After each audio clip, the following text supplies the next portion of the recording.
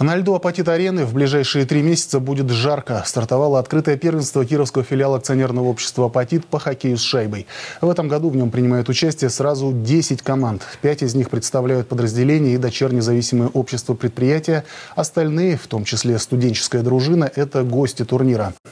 Достаточно ли пяти шайб для победы над одним из главных претендентов на чемпионское звание? За ледовыми баталиями следила съемочная группа «Народного». Поэтому у нас есть ответы не только на этот вопрос.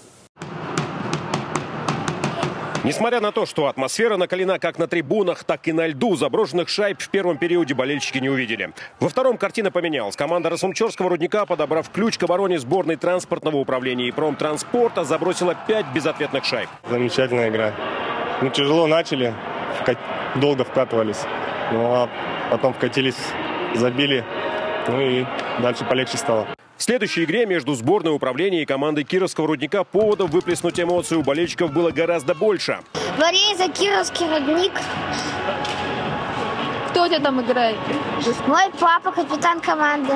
С того времени, как папа стал играть, прям увлеклись этим видом спорта, нам нравится. Сегодня за управление, хотя Кировский рудник да, тоже прекрасные ребята, тоже мои коллеги, да, поэтому сложный был выбор, но сегодня управление. Сборная команда управления первой открыла счет, но горняки не только быстро восстановили равновесие, но и вышли вперед. Итог лихой карусели – 17 забитых шайб. Пять из них побывало в воротах одного из фаворитов турнира. Кировский рудник ответил 12.